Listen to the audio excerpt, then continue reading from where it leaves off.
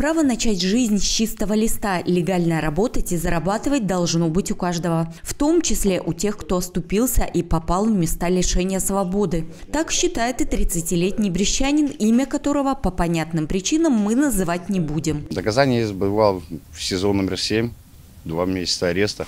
Ну, как поступил неправильно, как бы, ну, как неправильно, взял свой, ну, не свой телефон, я его отдал, но все равно дело пошло, и меня дали ареста два месяца.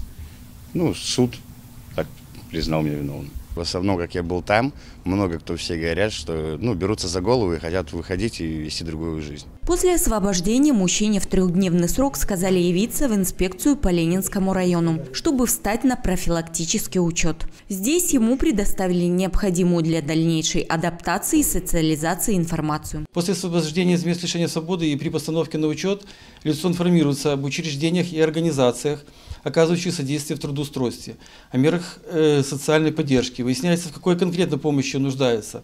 В последующем лицо направляется, либо доставляется в зависимости от личности в Управление по труду, занятости и социальной защите, э, территориальный центр обслуживания населения при необходимости к врачу-наркологу.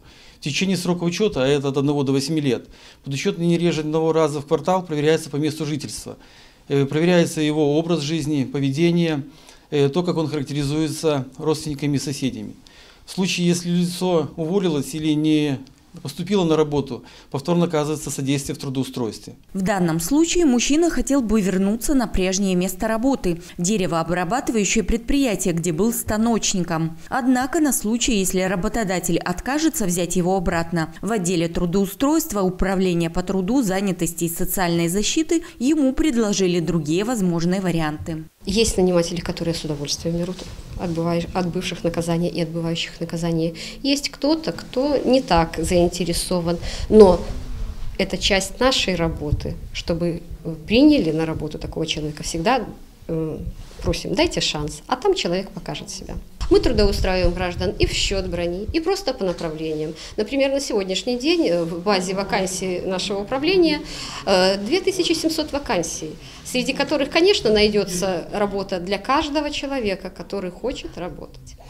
Э, есть такой еще интересный проект, э, когда мы компенсируем часть заработной платы нанимателям, которые принимают на работу гражданина, вернувшегося из мест э, лишения свободы. Такая комплексная работа многих служб и ведомств с бывшими осужденными дает свои плоды. Ведь если еще в 2018 году рецидивная преступность составляла 2773 случая, то в 2022 эта цифра меньше на 7 сотен. В прошлом году помощь в трудоустройстве следствия получили более 4800 лиц, имеющих судимость, что почти на 13% больше, чем годом ранее. За каждой из этих цифр судьба человека, который стал на правильный путь. Насколько он будет успешным, зависит только от его желания. Людмила Лагудич, Андрей Щерба, Юрий Лемонтович, телекомпания Бук ТВ.